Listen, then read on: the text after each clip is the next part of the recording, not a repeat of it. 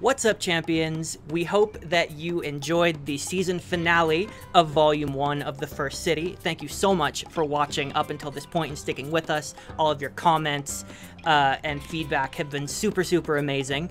We are just coming at you right now from uh, my Outside. Yeah, outside my front porch where there are us.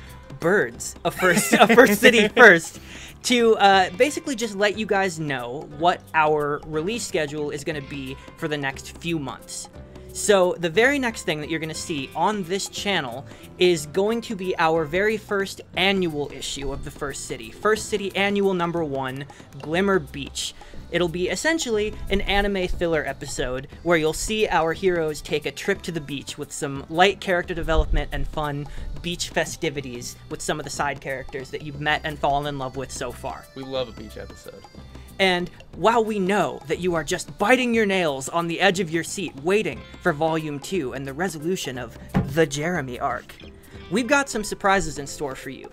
Starting with a couple of fresh, off the press, beautiful one shots run by our very own Eric Monroe Schwan. Well, oh, well, one of them is by you as well. We got well, we got an old-fashioned honey heist coming up uh, with a great old cast. It's very, very funny. I highly recommend you check it out. And then secondly, we have a collaboration with my band, the Friendly Neighborhood Watch. That is run by Ian, who crushes it. And then after that, we will be hopping into our first Chance Encounters D&D mini campaign run by me. Hope you like beach episodes because this is a whole season of beach episodes. It's called Below the Shoreline. The elevator pitch is on a tourist trap island. A curse is unleashed and only our protagonists are the ones who can save the island and maybe the world.